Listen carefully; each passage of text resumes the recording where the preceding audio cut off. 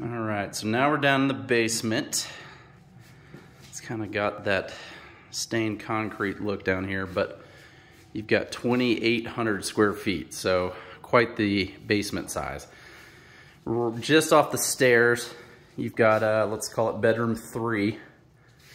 It does not have an ensuite bath.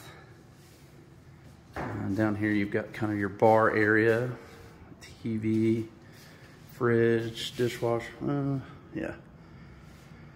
Then out here, yeah, you've got your communal space, egress window, so you don't get a ton of natural light down here, but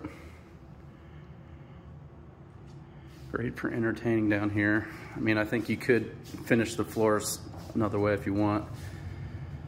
Huge water heater. It's probably a, geez, it's well over 50 gallons. Furnace looks to be in good shape.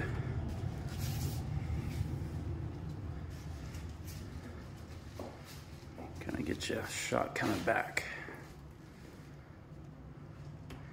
Yeah, I had to read it a couple times seeing it was 2,800 square feet, but it feels every bit of it down here. And then over here, so you've got your primary bath down here for guests and the two bedrooms. You've got your workout space, flex space. This could be just about anything in here. Storage that way. And then way off, technically under the master bedroom, you've got this other private suite. More storage, wow, keeps going. And so you got bedroom four, so the second one down here, much better light over this way. This is kind of down that slope on the hill, or in the backyard, so. Private closet. And so that's the basement. We got one more floor to go.